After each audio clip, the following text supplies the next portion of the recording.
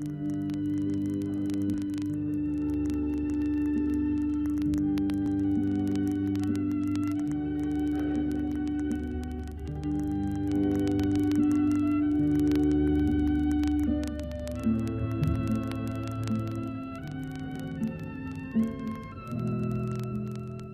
poveri ciechi, un'orchestrina ambulante di mendicanti sul marciapiede di Santa Lucia.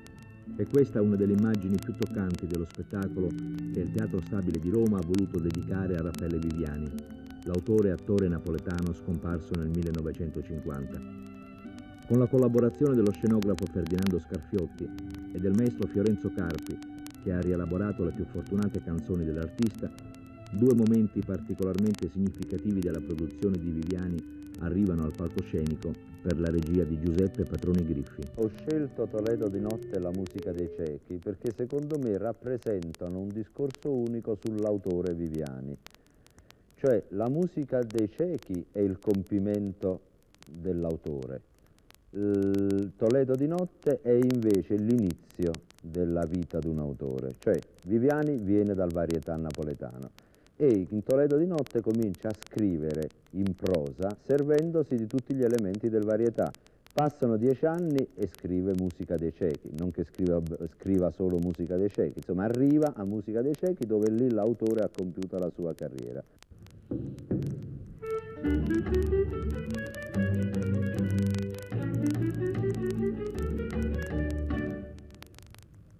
Signori e signore, vi canterò Arasata di canta la messa. Ed eccoci nel clima della musica dei ciechi. La gente è frettolosa e distratta. Nessuno si ferma per l'elemosina di una moneta. L'impresario dell'orchestrina ambulante, l'unico che ci veda, sia pure con un occhio solo, pensa di poter attirare l'attenzione dei passanti con una canzone di successo. Io tenga! Ui! E già, tu, attaccata! Ah.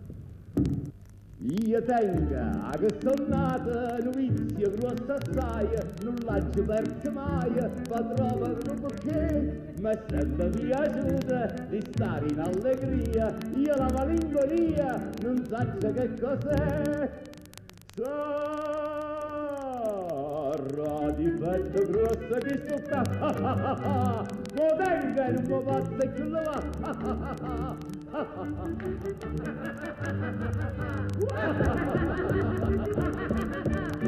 Traviati pazzo, Traviati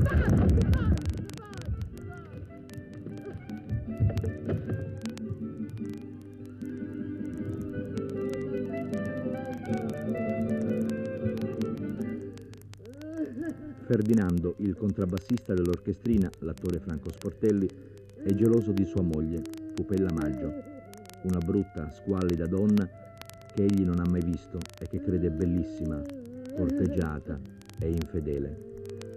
Questa musica Giuseppe Verdi la scrivetta per mamma.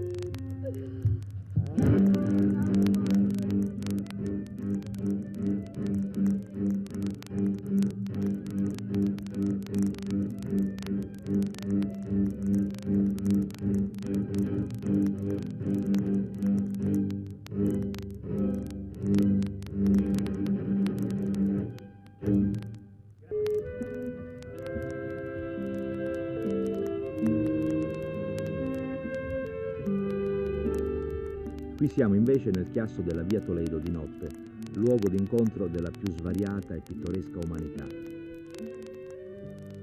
Toledo di notte è stato scritto nel 1918 e rappresenta una serata a Napoli nell'immediato dopoguerra, della Grande Guerra naturalmente.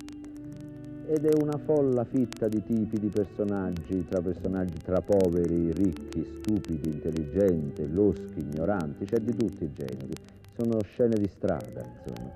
Si alternano esuberanti scugnizi dalle vesti a brandelli e viver per i quali il frac è la divisa di ogni notte, sfaccendati che cercano di fare l'alba in qualche modo, insomma una dolce vita del primo Novecento, guappi della vicaria dall'aria truce dal gesto perentorio, e ricchi gaudenti in perpetua lotta contro la noia. Non manca l'incontro tra una ragazza perduta e il suo amico camorrista, pretesto per un malizioso duetto.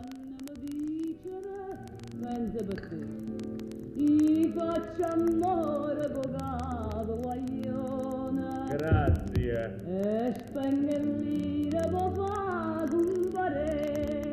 Angela Luce, Mariano Rigillo, Corrado Anicelli, Antonio Casagrande sono gli altri principali interpreti di questo eccellente spettacolo che il pubblico romano segue divertito e commosso. Esagera.